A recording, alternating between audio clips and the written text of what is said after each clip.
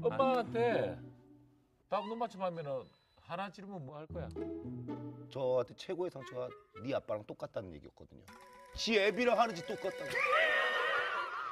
너 아빠 아들이니까 도대체 어떤 일들이 있었던 거야? 엄마가 내 잘못이냐고 물어보고 싶어요. 만나자 엄마. 이번 추석에도 안 모였어요. 아 하는 만나야겠어요.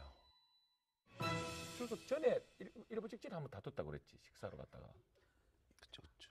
그래서 다 따로따로 모이기 시작했어요. 그래서 옛날에 한 차로 갔는데 음. 가다 싸우니까 식당에서 모이는 걸로. 가면 이제 진짜 침묵 식사예요. 그냥 반찬만 보고 네, 다 B형이라서 아, 누구나 다 행복한 거 아니니까 어, 다 다른 거니까 잘 살아가고 있어. 어떻게든 뭐 행복하게. 아, 추석 때 문자가 왔더라고 우리 집은 화목하지 않으니 형이라도 화목하라고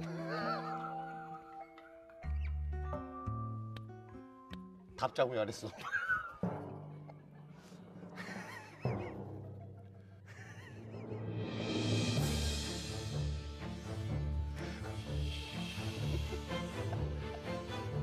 따라와